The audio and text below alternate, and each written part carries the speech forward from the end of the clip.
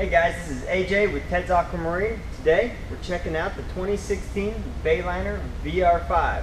So stay tuned and let's take a look at it. We got boats, boats, we got boats at Ted's Aquamarine. We got big ones and tall ones and itty bitty small ones at Ted's Aquamarine. And there's a big selection and the price is right. Oh man, these boats are out of sight. Get the boat you want when you see what you like. Alright guys, the Bayliner VR5 is a new model for the 2016 year from Bayliner. Uh, it's a 20 foot 4 inch boat uh, and also supports an 8 foot wide beam. Uh, one thing great about this boat is it, it, it, follows the beam all the way to the front of the boat which creates a ton of room uh, up in the front, front area for, for passengers. Now also back here um, you can see that we have the uh, SeaDek teak floor mat uh, which is a really great flooring. Uh, it's, it's not very slippery, it's kind of sponge-like so you're not going to slip and fall. Uh, also have a ski hook here, uh, which is great. You can pull uh, tuber skiers from here, or we even have the extreme tower on this boat right now, uh, and you can pull from up there as well. Alrighty, and as you can see here, uh, there's a very large sun pad in the back, so anybody can lay out. Uh, very comfortable. also, too, it has a second key feature that makes this sun pad even more unique.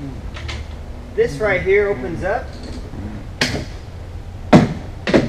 little kickstand there. And now it's a it's a chase lounge, uh, which is very comfortable. Also, too, this pad flips over, and you either have the option of a have the option of a walkover here, or you can open this up so your guests can walk right through here. Now, also here, we have a cooler that can be used as wet or dry storage. Uh, so that's a bonus feature. The VR5 offers a very spacious interior. Um, a lot of useful compartments here. Underneath the main bench here, you have a wet dry storage area. Can also be used as a cooler here. Then right here, you got to kind of pull this seat out. And here, we have the Mercruiser 4.3 multi-injected, multi-port injected engine. Uh, so this engine is putting out 220 horsepower. Uh, top speed testing is around 50 miles an hour, uh, so plenty fast enough to be on the water. So plenty of room for storage, uh, a lot of area to work on the boat. Uh, if you do your own maintenance, it's very easy to access. Um, on this side, you have storage, plus also uh, where this is where your battery goes. This.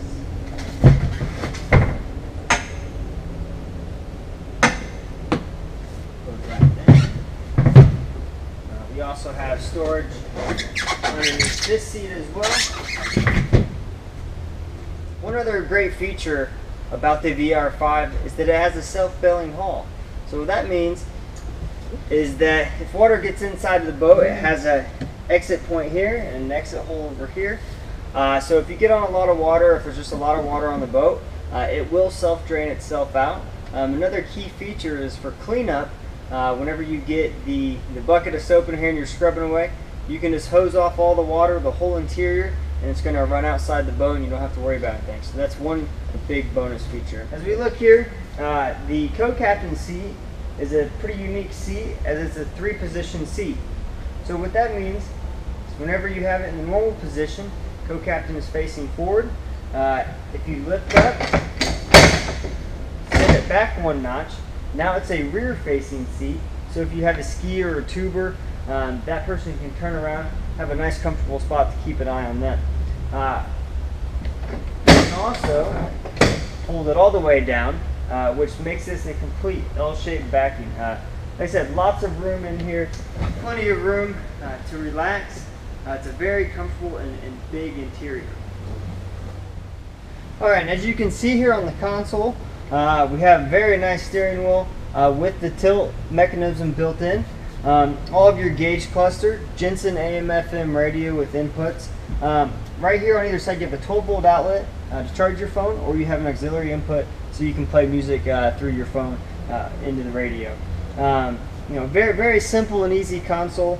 Uh, the driver's seat is adjustable, so it moves forward and backwards, and it's bolster style. So some people like to get up and you know ride high, where others like to sit down in here. But that's what that's for. Very nice feature. And if we move to the front here, another thing I want to mention before we move to the front of the boat, um, this is the Extreme Tower from Bayliner. Uh, it has the integrated top. Um, one thing nice about this is that when you have towing or if you have uh, bridge restrictions on a lake or anything like that, this tower is collapsible. Uh, there's two uh, screws right here, uh, hinges, that you pull, undo these, uh, and it will fold down nice and neat. So great looking tower, very durable, um, you know, and easy to use. And as we move forward here to the bow, uh, we have the nice walk-through windshield. Uh, we did put the sidewalk wings on here. Uh, so very nice windshield with the black trim. And as you move forward too, you have a very large uh, kind of cabinet storage area that you can put life jackets, uh, coolers, anything extra you can put in here. Very large space.